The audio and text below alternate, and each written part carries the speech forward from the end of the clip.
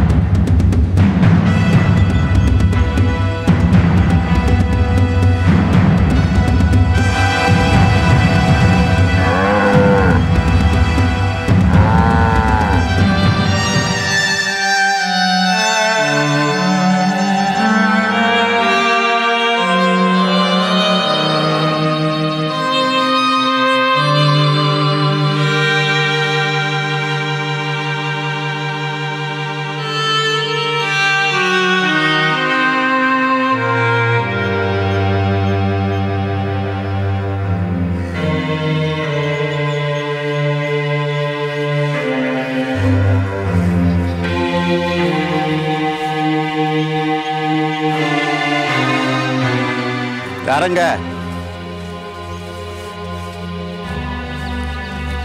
யார் அங்கன்னு கேக்குறேன்னு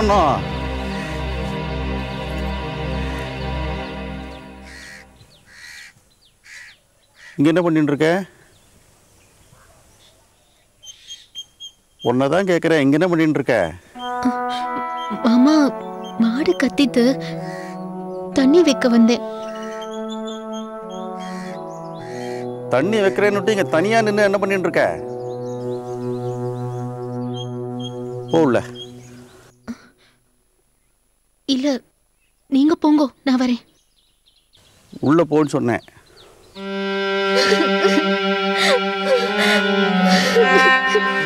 இல்ல இப்ப நான் என்ன சொல்லிட்டேன்னு அழறேன் இப்ப காலங்காத்தால அழற அளவுக்கு என்ன எடுத்து? இல்ல மாமா? எதையோ நினைச்சுட்டேன். அழுக வந்துடுத்து. எதையோன்னா அப்பா ஞாபகம் வந்துடுதா? அப்பாவை மறந்தாதானே ஞாபகம் வரதுக்கு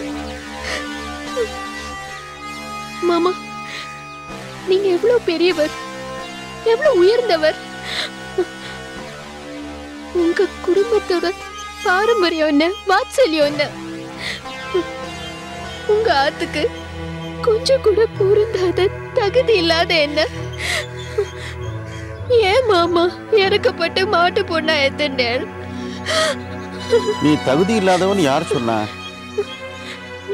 நானே தான் சொல்லிக்கிறேன். உங்க ஆத்துக்குள்ள மாட்டு பொண்ணா நான் நுழைஞ்சது. நல்ல மரத்துல பில்லுள்ளி பாஞ்ச மாதிரி. துக்கரி பொண்ணு ஆத்துக்குள்ள நுழைஞ்சா தொலைச்சிடும்பா ஊருக்கெல்லாம் குருவா இருந்த வேத வித்தகனோட புத்திரிமா நீ நீ துக்ரியா இருக்க முடியாது. இந்த ஆத்து மகாலட்சுமி நீ நான் சொல்றேன். இல்ல மாமா. எல்லாரும் சாணி தெளிச்சு கோலம் போடுவா. கோலத்து மேல சாணி தெளிச்சு பாத்திருக்கேளா? இந்த அத்து தேங்காய் வண்டி ஏறி ஊர் உலகத்துக்கெல்லாம் போறது. ஆனா நான் உடைச்ச தேங்காய் மட்டும் ஏன் அழகுலா இருக்கணும்? இந்த குடும்பத்துக்கு பரம்பரை பரம்பரையா பிரகாசிக்கிற ராமர் நான் விளக்கேத்தினா பிரகாசத்தை புறக்கணிச்சு ஏன் மாமா அனுச்சார்? நிறைய பால் இருந்தோம். நான் காய்ச்சின பால் மட்டும் எப்படி மாமா திரிஞ்சு போச்சு? அசடு அசடு. இதுக்கெல்லாம் காரணமும் இல்லை அர்த்தமும் இல்லை. சும்மா மனசு போட்டு வருத்திக்காத. ஆனா நான் துக்ரி பொண்ணு தீர்மானமா எடுத்தேன் ஆத்த தொடைக்க வந்தவோன்னு பட்ட பேரும் வாங்கியாச்சு. எதுவால முழுகின பாதகீன பழிச்சொல்லு இழிச்சொல்லு நிலச்சொடுத்து. இதுக்கு மேல யார் என்ன சொன்னாலும் என் நிலைமை மாறி போறதில்ல. ஒதுக்கப்பட்ட துடுப்பு கட்டதா? பைத்தியகாரத்தனமா உளராத யாரு? யார் அப்படி சொன்னா? யார் சொன்னா என்ன மாமா? தப்பு இல்லையே உண்மைதானே? அவ மனசுல பட்டது அவ சொல்லிட்டா. பாரு. எதிர்த்து பேசக்கூடாது கேட்டதுக்கு பதில் சொல்லு யார் சொன்னா? மாமா என் மனசுல இருந்தது உங்ககிட்ட கொட்டினதுல என் மனசு ஆறிடுது. எதையுமே பெருசு பண்ண வேண்டாமே விட்டுடுங்கோ. சரி என் வார்த்தைக்கு அவ்வளவுதான் மதிப்புன்னா அப்புறம் இஷ்டம். மாமா நான் எப்பவுமே மதிப்பேன். ஆத்துல எல்லாரும் என்ன ஆபசக்கணும்னு நினைக்கிறா. அவையும் மண்ணிலேருந்து கடைசி மாட்டு பொண்ணு அம்பூஜம் மண்ணி வரைக்கும்.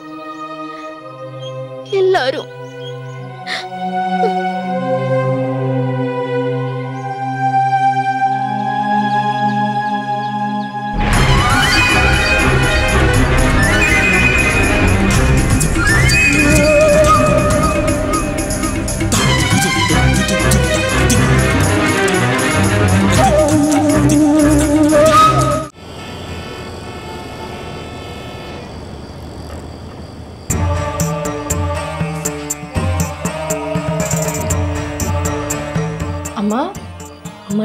ஒன்பதாச்சு சாப்பிட வரியா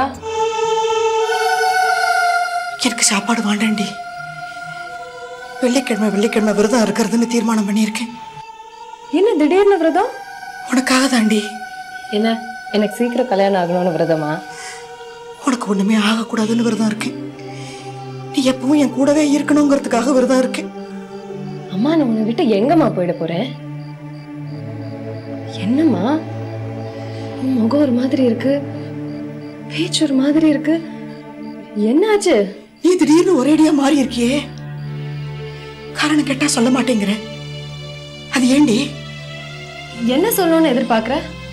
இல்ல அப்படியே நான் சொல்லிட்டாலும் உன்னால அதை சரி பண்ண முடியுமா? சரி பண்ண முடியுமான்னு தெரியல.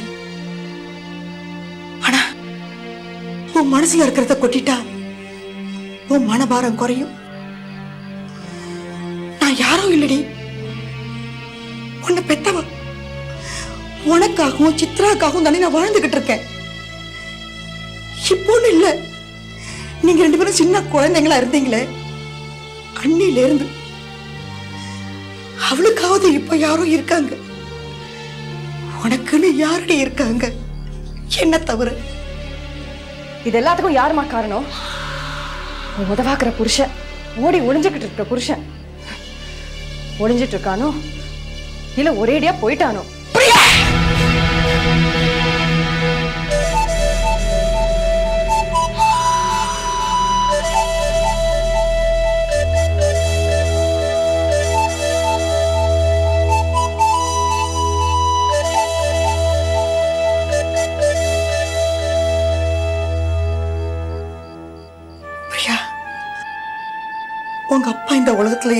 மூலையில வாழ்ந்துட்டு இருக்காருங்கிற நம்பிக்கையில தடி நான் இன்னும் உயிரோட இருக்கேன்.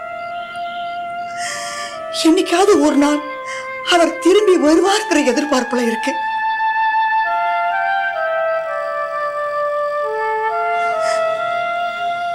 என்ன மன்னிச்சுடுறேன்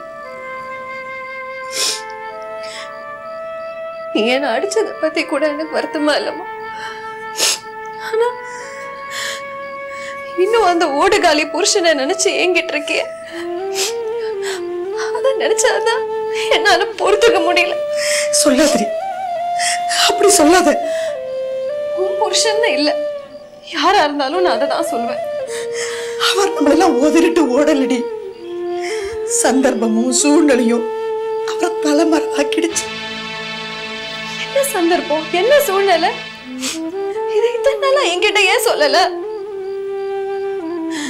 சொல்லக்கூடாதா? இல்ல சொல்ல முடியலையா? சொல்லணும்னு தோணினப்ப உனக்கு வயசு ஆகல உனக்கு விவரம் தெரியற வயசு வந்ததுக்கு அப்புறம் சொல்லணும்னு எனக்கு தோணல. இப்ப சொன்னா அது பகைய தாண்டி வளர்க்கும். பங்காளி பகை.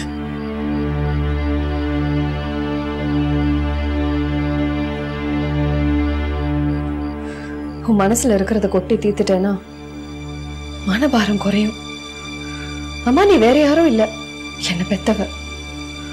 உனக்கு யார் இருக்கா? என்ன தவிர?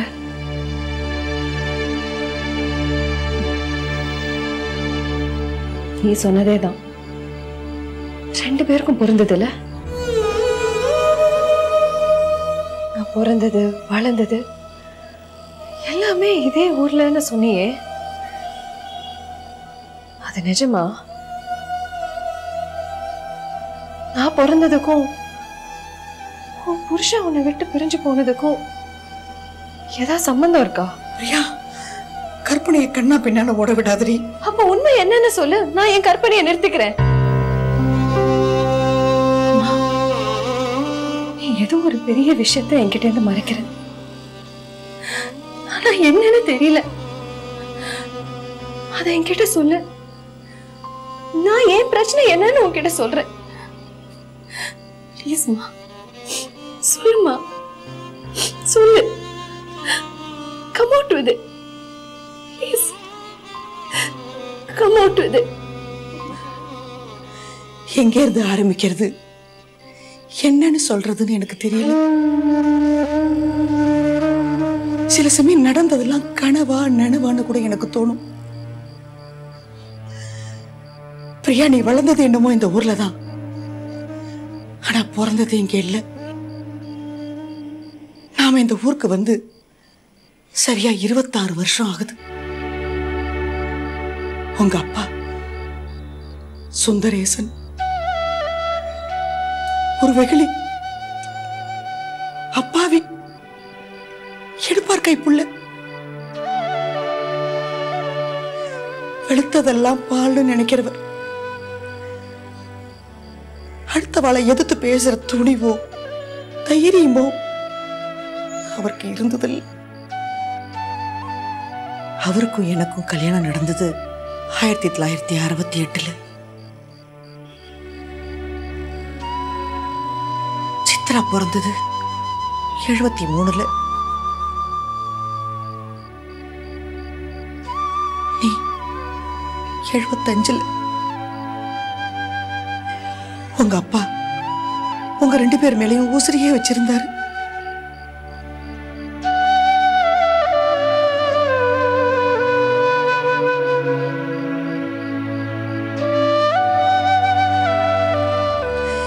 வீட்டுல இருக்கும்போதெல்லாம் அவருதான் உங்களை தட்டி தூங்க பண்ணுவார்.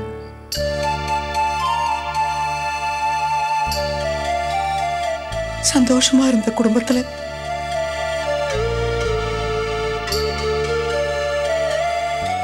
சூறாவளி அடிச்சது.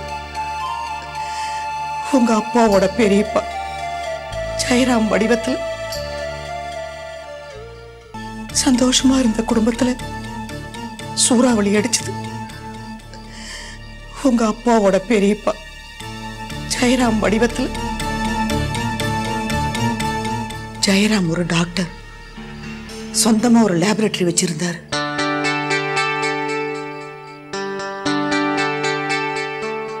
அதுல மருத்துவ சம்பந்தமா என்னெல்லாமோ ஆராய்ச்சி செஞ்சுக்கிட்டு இருந்தார். அவர் என்ன செய்யறாரு ஏது செய்யறாருன்னு யாருக்குமே தெரியாது.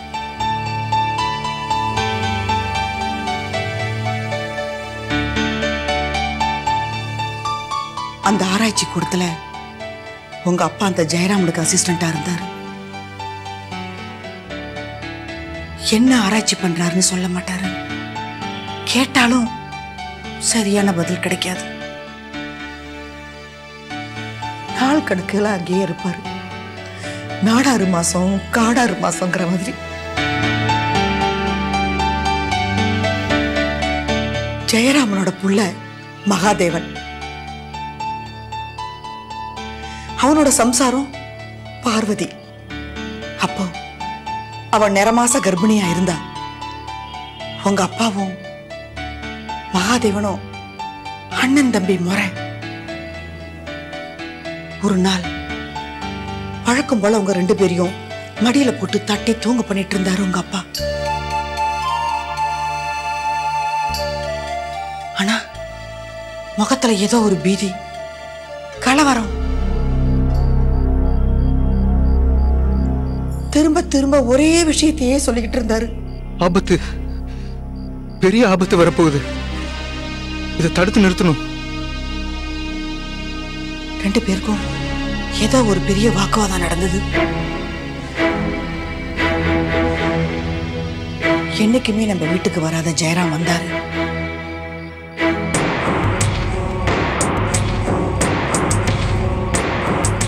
டேய் சுந்தரேசா வெளியே ஏதாவது சொன்ன? கூண்டோட கைலாசம். என்னோட மறுபக்கம் உனக்கு தெரியாது. You don't know the other side of me அப்படின்னு மிரட்டிட்டு போனாரு.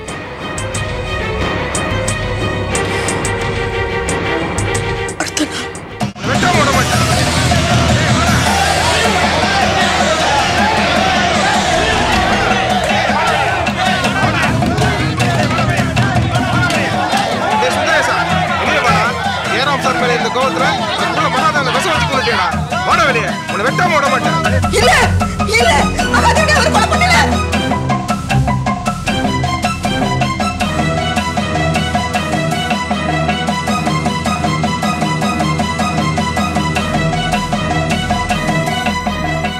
அபாண்டமா எல்லாரும் பழி போட்டுட்டாங்க. உண்மை அவருக்கும் எனக்கும் மட்டுமே தெரியும். வெளியில கொலவெறியோட எல்லாரும் நின்று இருந்தாங்க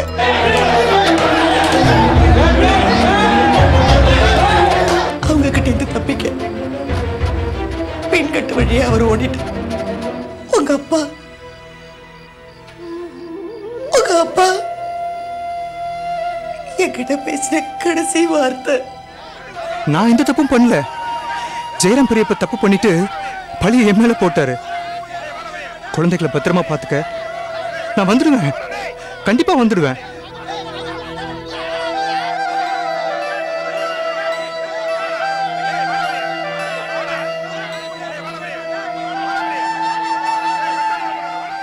அடுத்த நாளே மறுபடியும் அந்த வெறி பிடிச்ச கும்பல் வந்தது.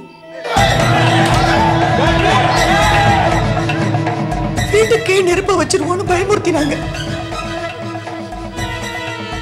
என்ன பண்றதுன்னே தெரியல. ஒரே ஒரு பொட்டி. அதுல சில துணிமணிகள். உங்க அப்பாவோட போட்டோ அது தவிர இது ராமர் படம்.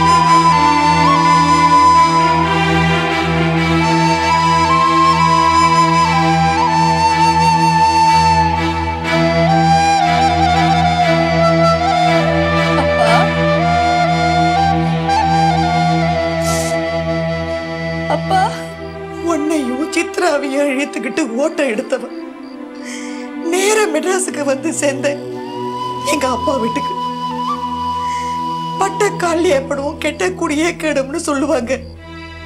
ரெண்டே வருஷத்துல அவங்களும் போய் சேர்ந்துட்டாங்க. நிர்கதியா நிராதரவா உங்க ரெண்டு பேரையும் வளர்க்கறதுக்கு நான் பட்ட பாடு இருக்கேன் அது இந்த ராமருக்கு தான் வெளிச்சம்.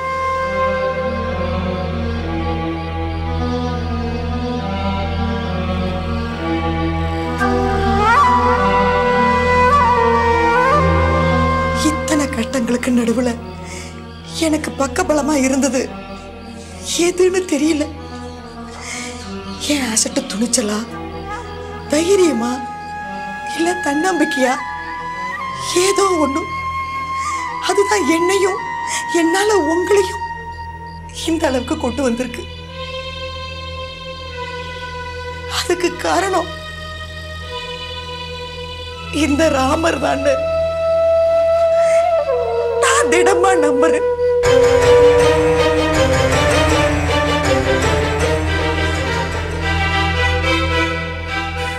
இத்தனை நாளா இவரை ஏமா என்கிட்ட இருந்து மறைச்சு வச்சிருங்க?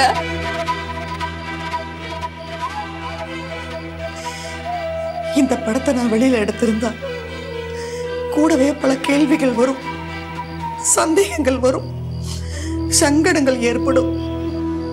அது மட்டும் இல்லை யார் கடலையும் இவர் படக்கூடாது. ஏன்னா எதிரி எங்க ஒளிஞ்சிட்டு இருப்பான்னு யாருக்கும் தெரியாது. இத்தனை வருஷத்துக்கு அப்புறம் இவரை யாருமா தேட போறாங்க? இல்ல பிரியா. அந்த ஜெயராம பத்தி உனக்கு தெரியாது. வேண்டாதவங்கள பேரோடு சார்ச்சிடுவோம். விட மாட்டான்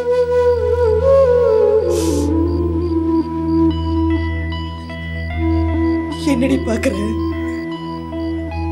வெறும்னு பாக்கலமா மானசீகமா மன்னிப்பு கேட்டுட்டு இருக்கேன் இவரை பத்தி நான் என்னெல்லாம் பேசியிருக்கேன்? அதுவும் உன்கிட்டயே.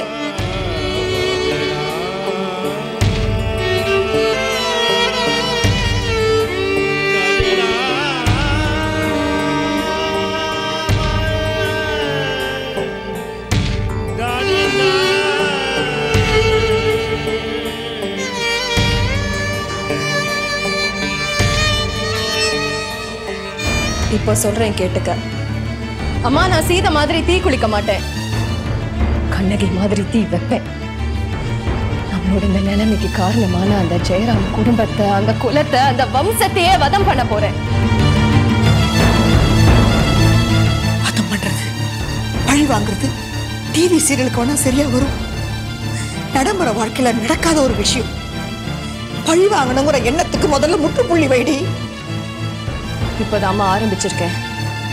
அதுக்குள்ள முற்றுப்புள்ளி வைன்னு சொல்ற? அம்மா உனக்கு நல்லா தெரியும். எதுக்கும் துணிச்ச வேலை. அந்த ஜெயராம் குடும்பத்தை சேர்ந்தவங்க எங்க வேணாலும் இருக்கட்டும். நான் அவங்கள சும்மா விட மாட்டேன். பாஞ்சாலி சபதம் கௌரவர்களை அழிச்சுது. இந்த பிரியாவோட சபதம் ஜெயராம் குடும்பத்துல இருக்கிறவங்களை சுட்டி எரிக்க போகுது. அப்பா மேல சத்தியம் எங்க அப்பா மேல சத்தியம் எங்க அப்பா மேல சத்தியம்